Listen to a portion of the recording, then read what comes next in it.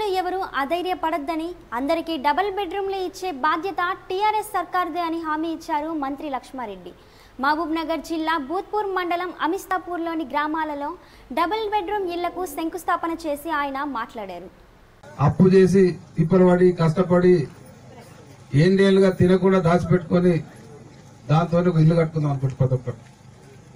ప్రతి కుటుంబానికి ప్రతి ఒక్క మనిషికి ఇల్లు అనేది ఒక కళ. ఎప్పుడు ఇల్లు కట్టుకోవాలి ఎప్పుడు సొంత ఇల్లు ఉండాలని ఆలోచిస్తూ ఉంటారు. వారు అటువంటి కళ ఈరోజు నెరవేరుతున్న రోజు. మీ అందరు కూడా ఇలా పండుగ రోజు ఈరోజు మీ సొంత ఇండ్లకి ఈరోజు తెంకాయ కొట్టుకున్నారు.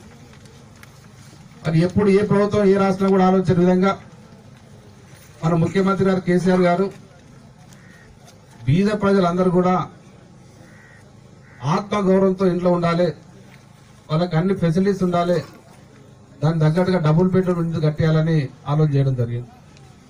అట్లా బీదోళ్ళకు డబుల్ బెడ్రూమ్ కట్టేయాలి. అనే ఆలోచన ఎప్పుడు ఏ ముఖ్యం